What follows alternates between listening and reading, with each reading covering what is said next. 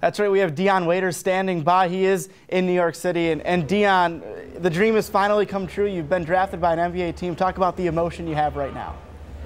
Uh, just heartwarming. Uh, you know, a lot of hard work I put in, a lot of dedication and sacrifice I have put in. And uh, I'm, I'm just blessed to be in this situation. You know, uh, the number fourth pick, was that something that you expected a lot of, you know, mock drafts or so-called experts maybe had you a little further down? Is this something that was a surprise to you at all?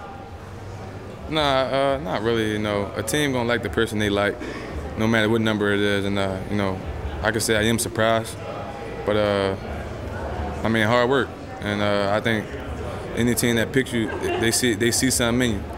So.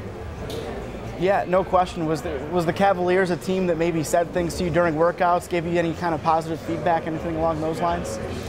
Nah, I even I never even I never talked to Cleveland, so you know that's why it's, it's crazy to me. Uh, you know, I, I haven't talked to anybody.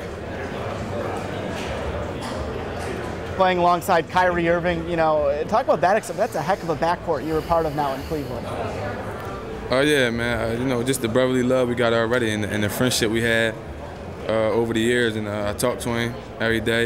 You know, and uh, I, I, think he gonna compliment compliment me well, and I can also help him. So two young two young guards in the backcourt, uh, just pushing each other every day in practice, and uh, just trying to get better. And uh, you know, one day lead this team to the playoffs, and then hopefully a national champion. I mean, a championship. That's all right. You know, Dion, uh, one quote I remember you saying: "You came to Syracuse as a boy, and you left as a man." Talk about what Syracuse did for you, not only as a player on the court, but as an individual uh, in everyday life. Uh, it just helped me grow. It helped me grow as a person, off the court, not even on the court. You know, uh, just Coach Boeheim with the tough love he had on me.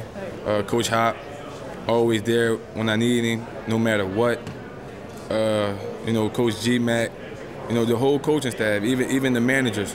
Uh, they been they they always been there for me, and, and, they showed me love. Like they showed me what's a family atmosphere like, and uh, that you know you, sometimes you can't open up to people, and uh, that's that's the biggest thing I walk away with Syracuse with.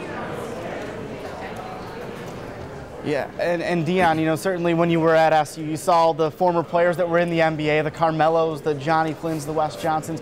Now you're one of that guy. And what kind of role are you taking coming back to the university in the years to come?